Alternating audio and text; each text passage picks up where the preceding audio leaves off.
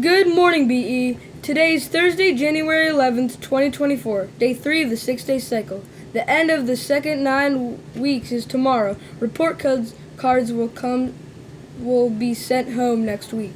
Teachers, there is a faculty meeting today after school. The best topic of the day is compassion. Never look down on anybody unless you are helping him or her up. Today's type 1 writing prompt is It's National Step in a Puddle Day and Splash Your Friends. With all of this melting snow that is probably possible today, what do you do on a rainy day? Do you like to play in the rain or stay inside? Lunch for today is garden salad with popcorn chicken and fresh bread, juicy cheeseburger on a bun, and peewee, peanut, peanut, peanut butter and jelly.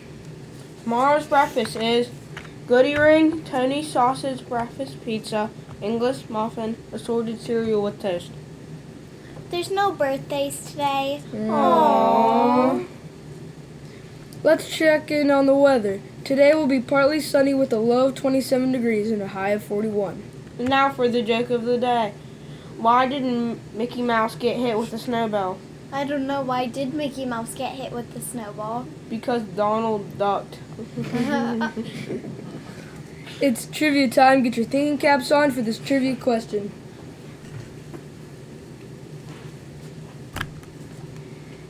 In what state was President Biden born? Hmm, I don't know, but tune in tomorrow for the answer. Remember, VE, be safe, be ready, and be kind. This is Jack, Dylan, and Brooklyn signing off from the WBE studios. Make today your best day.